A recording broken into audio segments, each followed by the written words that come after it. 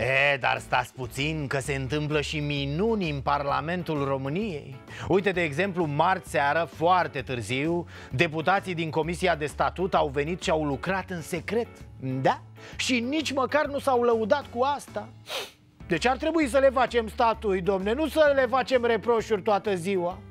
Of, că îmi dau și lacrimile pentru că am fost nedrept cu ei de atâtea ori, săraci Iertați-mă S-au văzut în secret uh, parlamentarii din uh, Comisia de Statut um, pentru a aproba cererea de reexaminare a președintelui Iohannis uh, pe marginea legii, acea, acea care um, introduce pensiile speciale pentru senatori și deputați. Băi, de mine, deci nu mai pot. Va trebui să-mi cer iertare că i-am certat și i-am judecat de atâtea ori pe nedrept.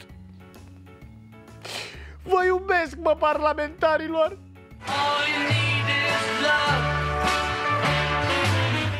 Deci nu doar că au venit marți seara târziu la muncă Dar au venit ca să-i facă pe plac lui Claus Iohannis Președintele nostru Președintele poporului Puh, să nu vă de ochi Și ce-ați făcut, mă, albinuțelor? Ce-ați lucrat voi seara târziu în secret? A?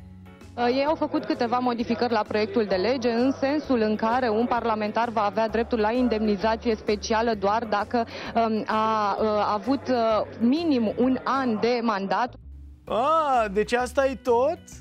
Asta e tot ce au modificat ei în legea privind indemnizațiile speciale. Așa numitele pensii speciale sau mai popular pensiile nesimțite. Au ridicat pragul minim de la 6 luni de mandat la un an de mandat Și în rest nicio greață. Pensii între 1500 și vreo 4000 de lei. Iar incompatibilii și nesimțiții care și-au angajat rudele pe la parlament sau la cabinete Faptă penală, condamnată penal Primesc cu seninătate pensia. Foarte corect, tăticu E așa, da, Chiar merită să vii seara târziu la muncă o dată pe an. Se cheamă muncă surpriză, da. Cum au zis violatorii, că au făcut sex surpriză. Așa și parlamentarii. Ne trag niște reprize de astea de muncă surpriză de necocoșează Hai, Stați că a venit domnul Valerică Zgonea. Da, să-i certe pe ăștia. I-a prins Zgonea noaptea în căminul fetelor, auzi?